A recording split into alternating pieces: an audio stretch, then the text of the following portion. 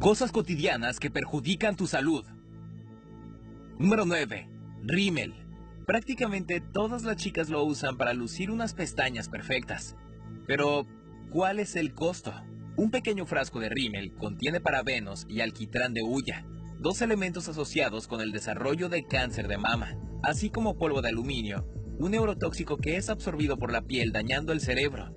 De acuerdo al doctor Joseph Mercola, se ha asociado con la enfermedad del Alzheimer con la acumulación de este químico. Quizá ir sin maquillaje a la escuela no está mal después de todo. Número 8. Cepillo de dientes. ¿Crees que tus dientes están libres de bacterias después del cepillado? Pues piénsalo dos veces, ya que un estudio del diario Investigación y Técnica de Microbiología reveló que este utensilio puede contener desechos fecales.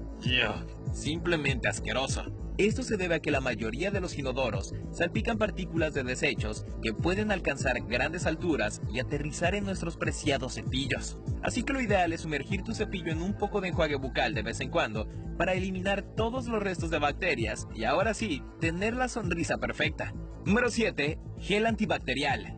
No, cargar tu gel antibacterial a todos lados y usarlo todo el tiempo no es bueno para tu salud pues aunque ese producto mata las bacterias malas, también elimina los microorganismos buenos que ayudan a combatir enfermedades en la piel.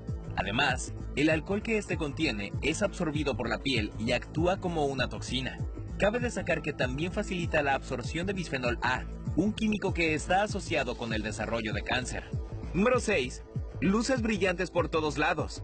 Aunque las luces LED son sumamente populares hoy en día, las luces fluorescentes tienen un impacto negativo en la salud de acuerdo al doctor Joseph Mercola, ya que pueden provocar cansancio crónico, estrés, dolores de cabeza y trastornos de ansiedad, pues estas carecen de los llamados rayos infrarrojos.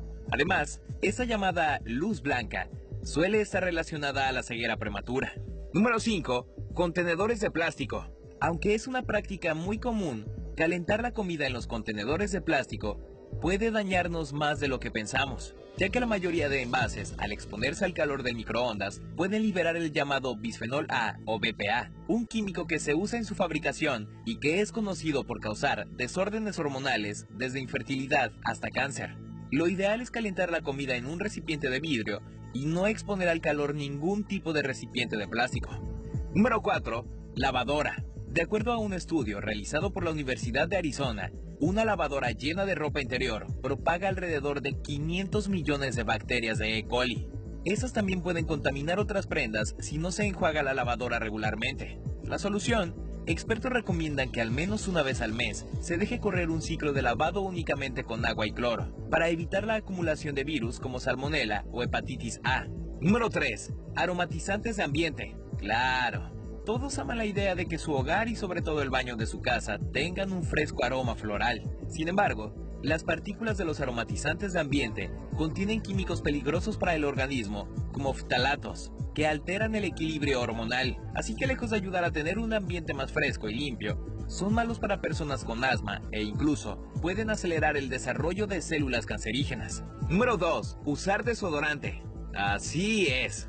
Ese desodorante en barra o en aerosol que utilizas todos los días podría provocar graves enfermedades, sobre todo en las mujeres, ya que el Instituto Nacional de Cáncer ha encontrado relación entre los compuestos de aluminio de estos productos aumenta el riesgo de padecer cáncer de seno. Pero eso no es todo, pues contienen también parabenos, químicos que alteran el funcionamiento natural de las hormonas.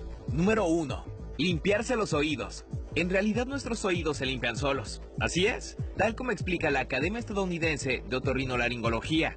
Los cotonetes de algodón no deben introducirse en los oídos, pues estos empujan la cera hacia el canal auditivo, formando un tapón que impide su correcto funcionamiento. Aunque parece desagradable, la cerilla atrapa las partículas de polvo y bacterias protegiendo esta parte del cuerpo. Y no te preocupes por la cera vieja, pues esta se secará y se caerá cuando mastiques, hables o después de bañarte. Así de sencillo. Soy Víctor González.